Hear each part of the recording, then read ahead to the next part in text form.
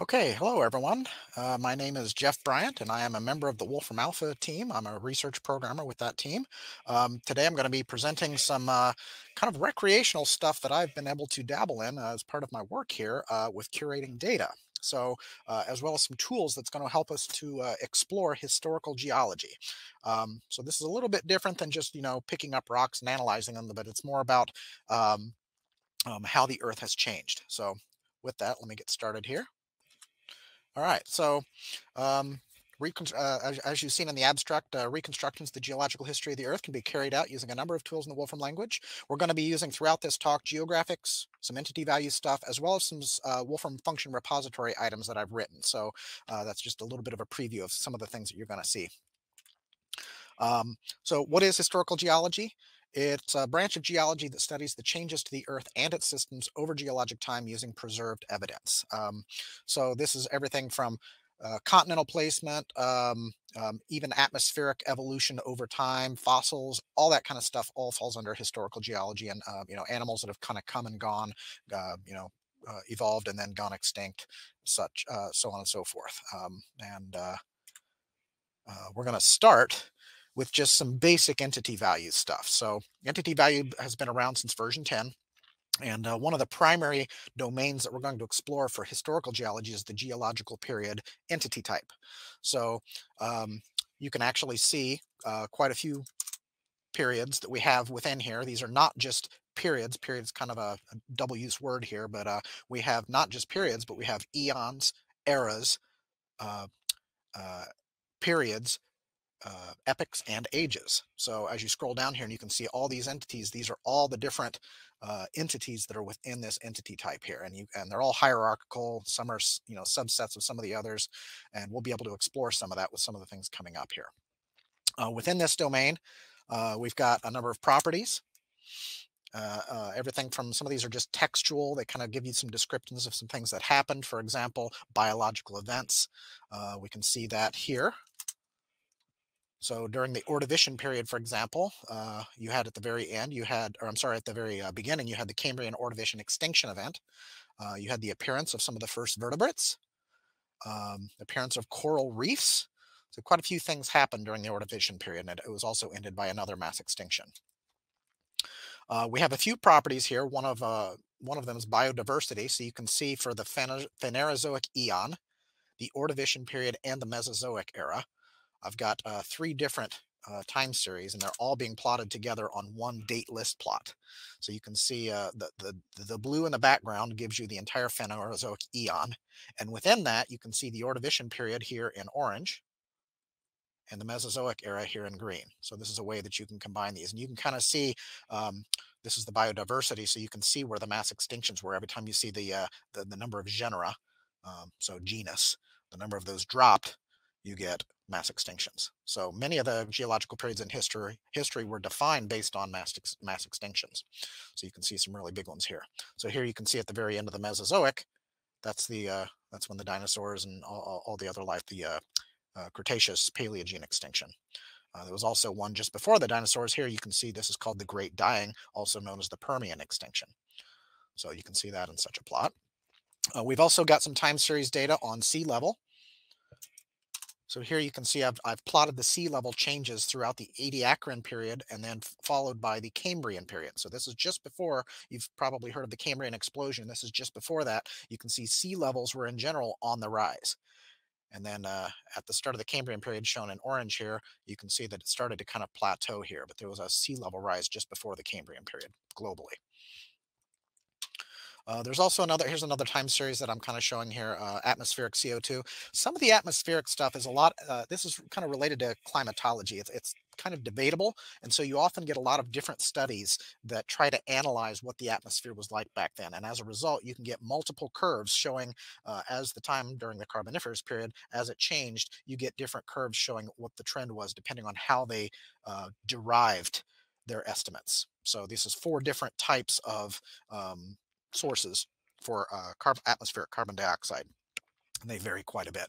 So you have to be very careful with these types of studies. Um, so that was with entity value directly. Now I'm going to switch a little bit to the Wolfram function repository.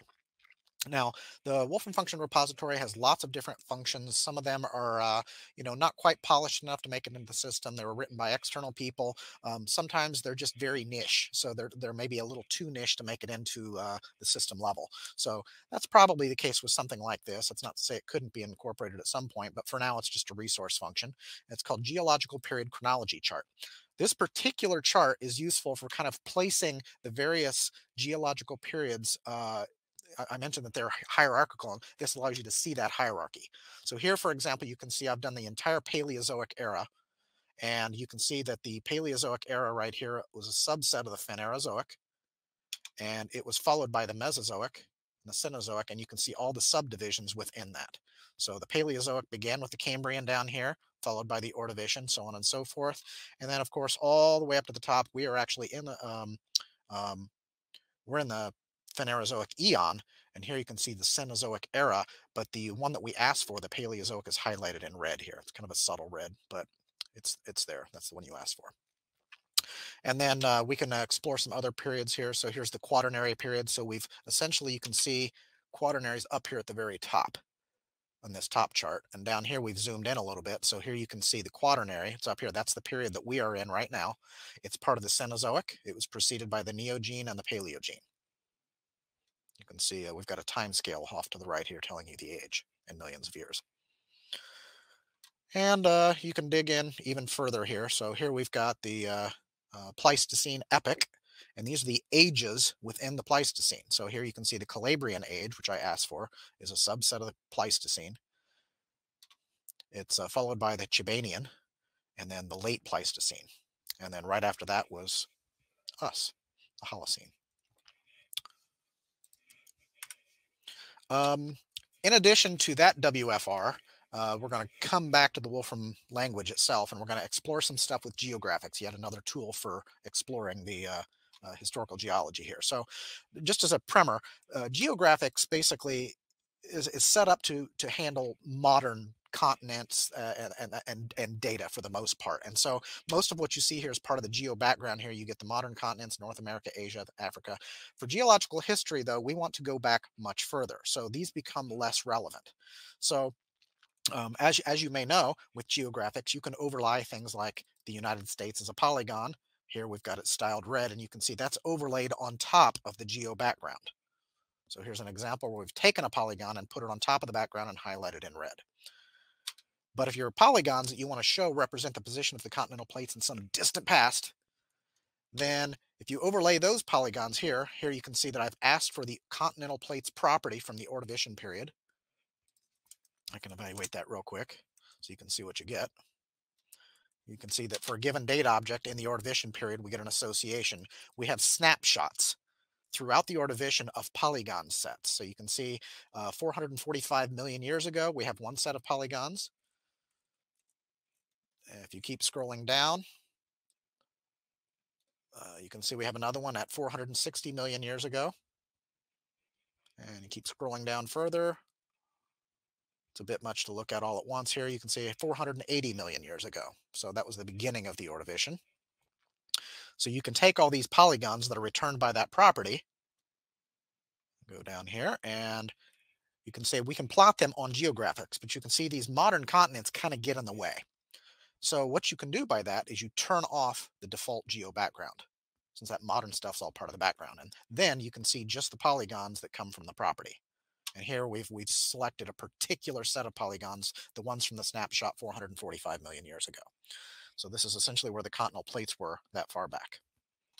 And then once you've done that, you can apply whatever styling and stuff that you want to those polygons here. You can see we've styled them brown. Um, we're still plotting the entire world, but we've set the geo background to light blue, so that kind of gives you an ocean color. We've selected a different projection, and we've turned on the grid. So this gives you something more like what you might expect from an ancient continental arrangement. So you can see here, uh, I don't know if you can recognize this or not, this is actually uh, modern North America, although it's turned on its side. So the east coast is actually facing south. So this was called Laurentia, and it's actually uh, kind of rotated and, and much further south than it is in modern modern day. But that's where we were during the Ordovician period, for those of us here in North America today, anyway. So, um, that's all fine, but it's kind of a, a, little bit of work that you might have to do if you want to do that kind of thing. So I've created another Wolfram function repository item called continental plate maps that makes it a little bit easier.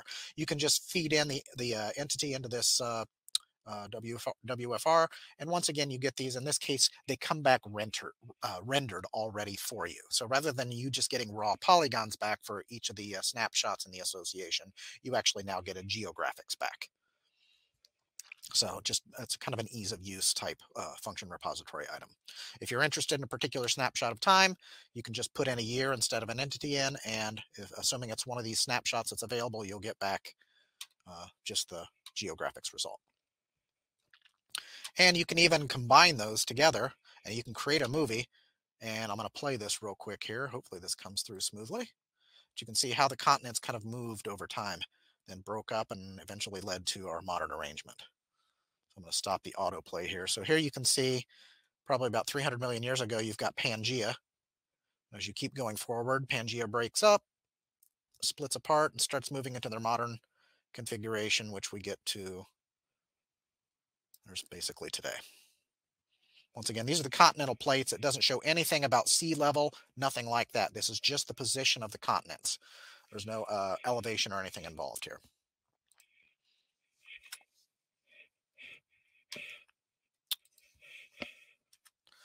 All right, so uh, something else that we have um, that's it's actually very new. We don't even have linguistics on the production site yet. That'll be coming in the next alpha release, so here in, a, in the next couple weeks.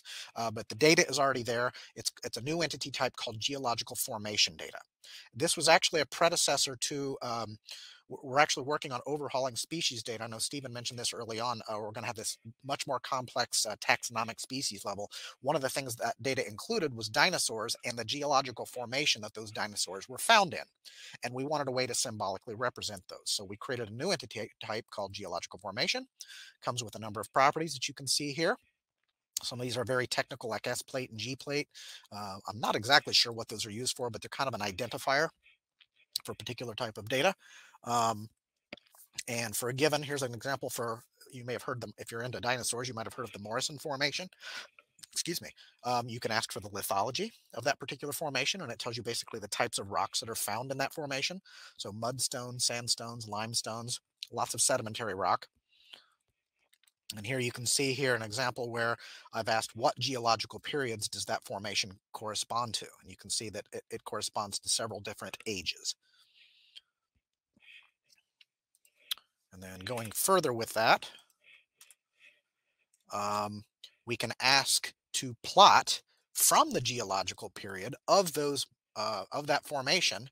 We sort them by their time range, and we can call the geological period chronology chart that we did before to see, you know, we can see that the the the the geological periods that they were part of are part of the late Jurassic. So the Morrison Formation comes from the late Jurassic and the early Cretaceous.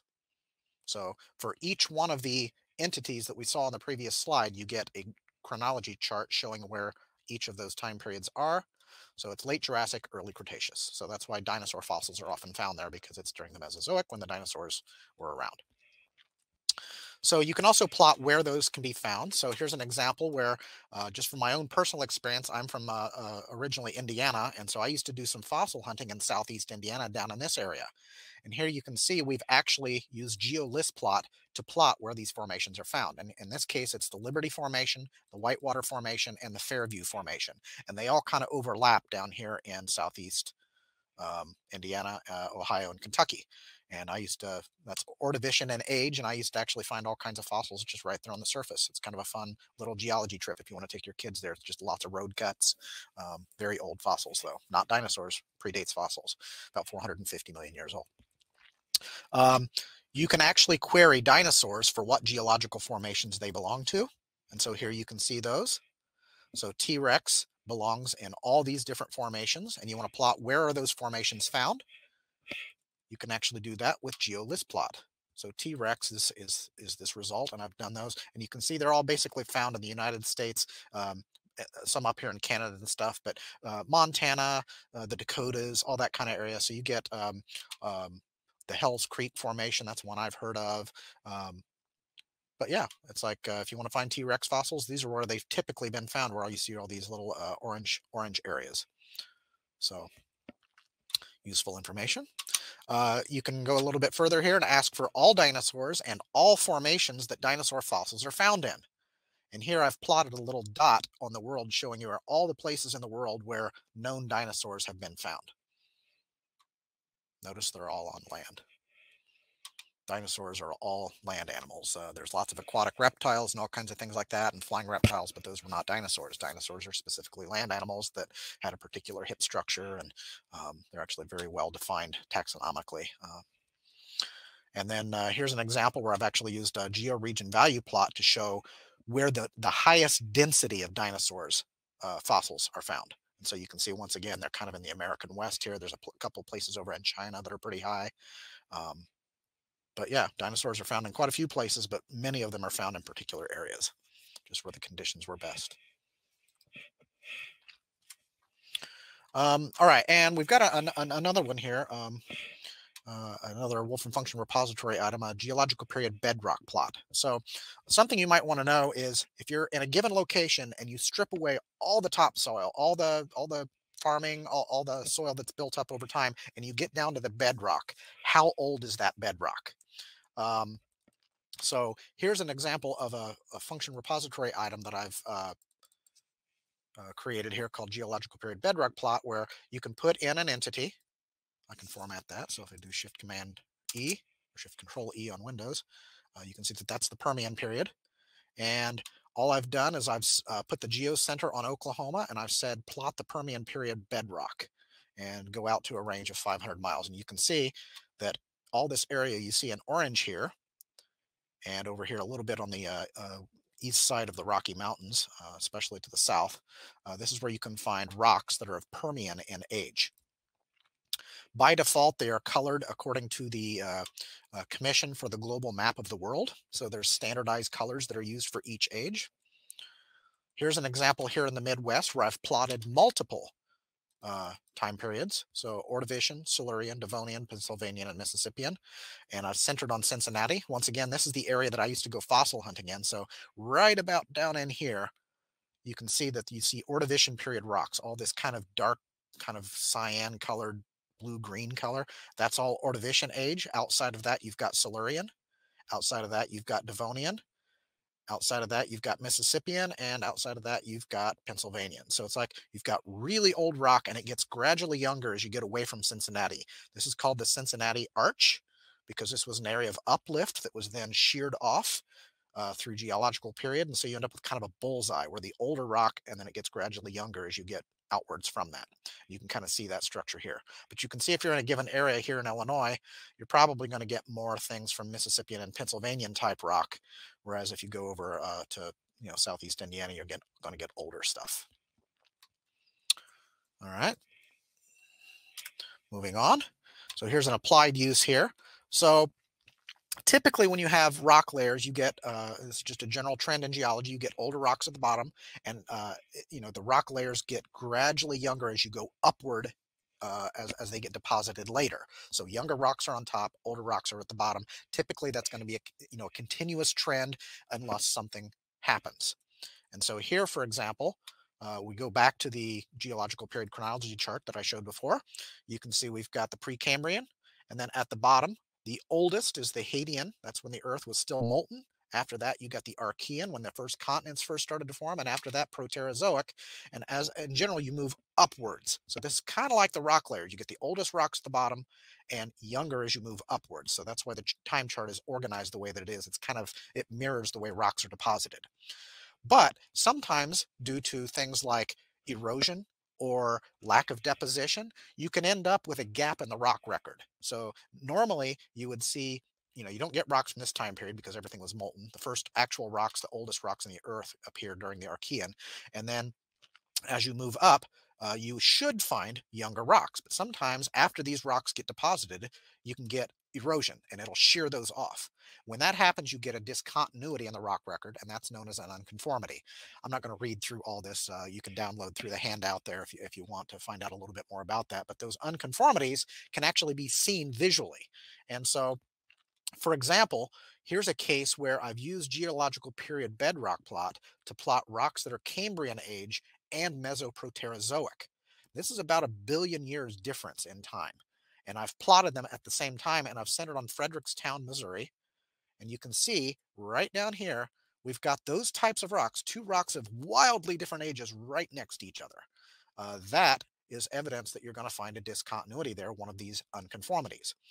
So if I zoom in a little bit, so here it's the same same data. I've just zoomed in and I've gone to about 10 miles from Fredericktown. And uh, you can see we've got the um, Cambrian rock and the Mesoproterozoic rock right next to each other, and it goes right through here. What that's evidence of is you could probably find this in a road cut. So actually, me and my wife a little while back, we actually went on a road trip to see if we could find that. And sure enough, we found a road cut where we found this. This is an example of Mesoproterozoic one and a half billion year old rock. And right on top of it, you see this rock that's distinctly distinctively different in texture, very cobbly. This is Cambrian age. So what you have here is an unconformity right where the two meet.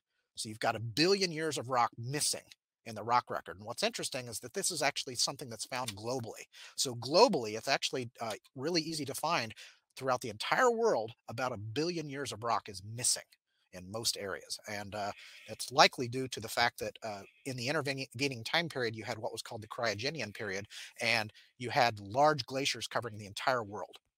And it actually uh, likely eroded much of that rock in, in many, many areas. But this was nice visual evidence that you could actually see that thing called the Great Unconformity. Uh, it was also called the cryogenian period was also often called uh, snowball Earth um, because uh, the glaciers probably went all the way to the uh, equator.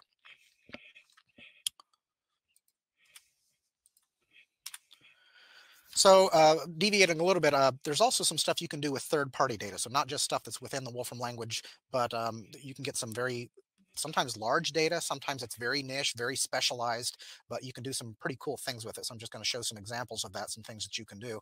So for example, you want to find out how the geolog uh, how the United States was assembled. And I found a data set that actually shows if you go down below the surface bedrock to the basement, the very bottom of that. You want to find out when was that rock first put in place. And I actually was able to create this uh, geographics example here. I put tooltips here where you can see the ages of these. So for example, here in uh, Illinois, a lot of that comes from the Mazatzal uh, formation, and that's about 1.7 to 1.6 billion years old. So it's quite old. And you can see that in general, if you look here, some of the oldest ones, here's if you go up here to uh, Montana and Wyoming and that area, you can see you can find rock that's 3.5 billion years old. And as you move this way, kind of downwards, the rocks get younger. So it appears that North America, so here's um, 1.8 billion years old, 1.7,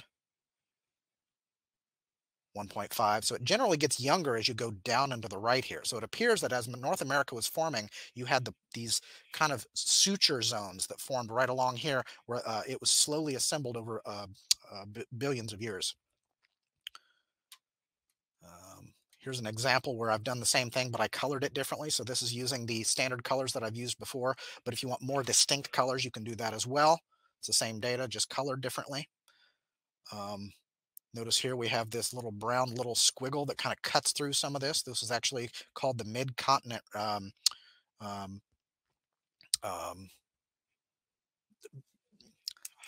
my mind is escaping me here. Um, we're actually uh, the United States tried to rip itself apart basically about a billion years ago, and what you're seeing here is the uh, the intercontinental rift. That's what I'm thinking of, the mid-continent rift. Um, and this basically uh, shows a failed rift that tried to rip North America apart and then failed, but it left behind this actually a large rift zone that's deeply buried. You can actually see that in this data. Here's a different way of uh, annotating it, uh, annotating the data where I've actually put some callouts here. Also up here in Alaska. And if you wanted to visualize the textual data, you could also do it in tabular form as well. I was able to form a data set out of the data that's in the uh, um, uh, external data set. And I want to mention that there is a link up here to community where I go into more detail about all that if you're interested in this particular data set, including where the data comes from. And okay, continuing on, another one here, and also another community post here. What if you want to do like we did before where you show global maps of the world, but you want to include sea level changes, things like that? Such data is available.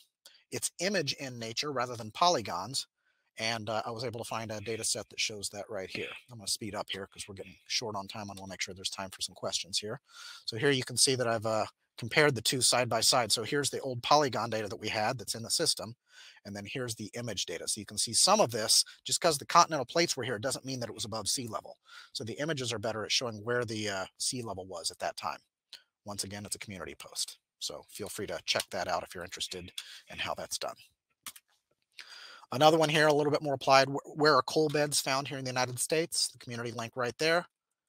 You can see that a lot of it's found over here in kind of the uh, West Virginia area, uh, but there's some over here in uh, in uh, Illinois as well, as well as in the southeast, and a few spots uh, throughout the Rockies and things like that. So here you can see I've got the ages as tooltip. So here it's tertiary in age. Here it's Pennsylvanian and Permian in age. And down here I've got uh, these are coal beds by type. So this tells you not the age, but the type of coal. So here you could low volume bituminous to high volume bituminous and uh, lignite down here. So it's lower quality coal, um, much younger, uh, hasn't officially turned into true coal. Um, and here's another example here. So I've zoomed in a little bit here. So I've zoomed in on Pittsburgh.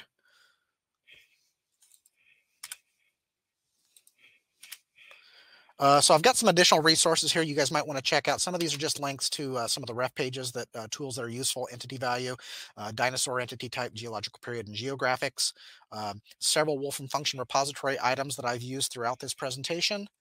And I've also got not just some of the ones that I showed here, but some additional ones as well, some community posts that are all related to this type of thing, including some posts that talk about mountain building or orogenies. Orogeny is the word for a mountain building episode in geological history, um, and a few other things on here as well. So uh, I encourage anyone that's interested in this type of thing to check that out. And that should be about all of my presentation. If anybody has any questions, uh, I would be happy to field those.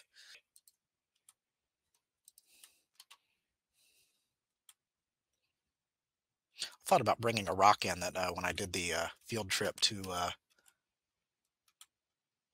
let's see here. I'm trying to remember what slide I put that on here. When I did the field trip to uh, southeast Missouri here, when I looked at this ancient rock. By the way, this is just about the oldest rock you can find anywhere in the Midwest. So if you're interested in that area, it's called the St. Francois Mountains. So that whole area down there, you can actually find volcanic rock here in the Midwest, which was just bizarre. Normally, all the rocks you find in the Midwest are going to be sedimentary, coal, limestone, that kind of thing. But uh, it was interesting to be able to drive from Champaign, which is right here, all the way down here to southeast Missouri and actually find volcanic rock. And I actually had a sample I was going to bring in, but uh, had this been an in-person talk, I could have passed it around the room, but otherwise I would have just had to hold a rock up to the camera. I'm not sure how useful that would have been, but it's interesting to bring back a sample of volcanic rock from the Midwest, though.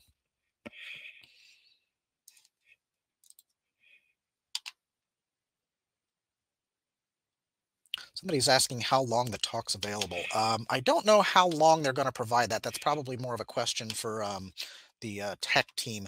Um, I'm not in control of that, so I'm not exactly sure. Um, I assume you mean the download, the handout. Um, I'm not exactly sure how long the site stays up and accessible. Somebody's asking about how how about fossilized fauna and flora other than dinosaurs.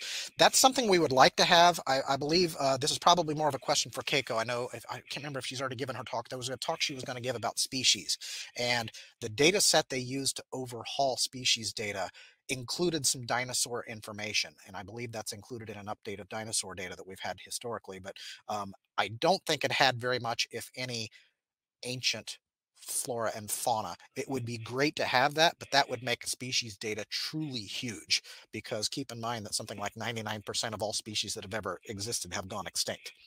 So if you thought species data was big now, imagine if we included all of that. So it's something we would love to do. I personally, just having a hobby of uh, going fossil hunting, I would love to have a species um, represent, uh, representation or an entity representation for all the fossil uh, creatures and stuff that have been found. But uh, keep in mind, it's even more difficult though, because trying to tax, uh, put those types of things into a taxon is is tricky. Uh, sometimes they change their mind, uh, biologists and taxonomists. There's also kind of a civil war going on between how you do taxonomy, special for especially for uh, extinct species, because you've got different ways of classifying things. You've got the traditional kind of Linnaean taxonomy, uh, but then you've got more evolutionary things that's called um, um, Um,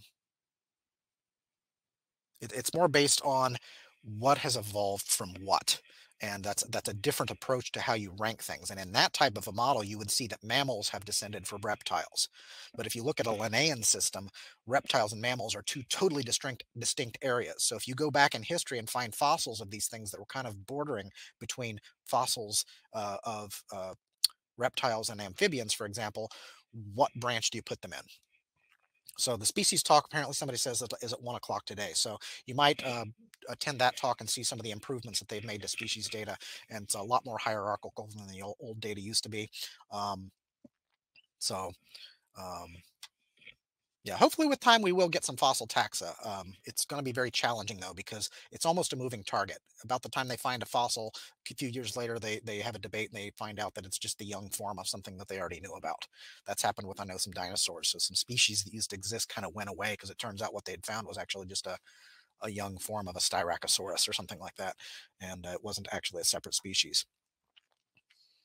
Uh, so somebody said that they think that uh, the notebook should be available to February 2024. So hopefully that's correct. I don't have a way of verifying that though. Cladistics, thank you. Somebody, yeah, somebody mentioned that. It's called cladistics. That's the other way of text of um, classifying uh, historical animals. And typically, if you're studying fossils, you're probably going to follow more of a cladistics type thing than you are more of a Linnaean taxonomy type thing, just because Linnaean stuff doesn't really address evolution. Um, so it's kind of messy, and I'm I'm glad I'm not involved in that civil war between the two different biologi biological camps, and having to figure out the best way to do things like that.